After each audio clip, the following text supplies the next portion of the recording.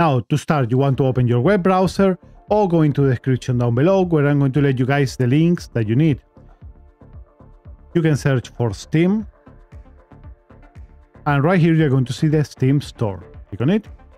And on the top, in the right side, you want to click where you see Install Steam. In this new window, you're going to see right here that it's already selected for Apple and click to Install Steam. Click into Allow when this asks you if you want to allow downloads on store-powered Steam. And it's going to start downloading. Just wait a couple of seconds or minutes until this is done. Once it's already downloaded, you can close your web browser and go into your downloads and click into the steam.dmg that you just downloaded.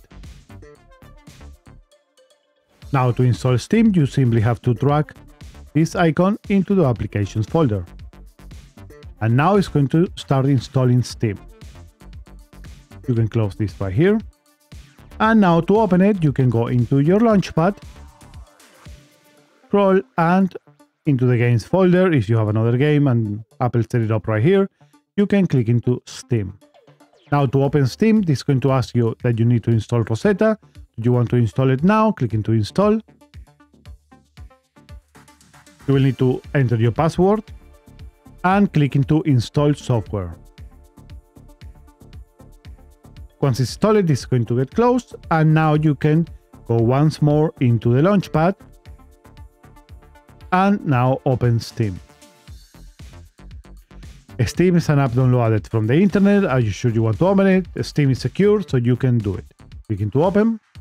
Now sometimes this needs to update it, so just wait until this is done. And now the Steam already updated and is finally here. You can create an account or sign in with your account name. You can type it or you can use the QR code if you have the authenticator and the application in your phone. That is what I'm going to be doing now. And now you can see guys, you have Steam already installed in your MacBook. And that is it for this quick tutorial guys. If you enjoyed, don't forget to drop a like and subscribe to the channel for more tech tutorials over Apple, PC, and a lot of reviews and everything else that I do on this channel.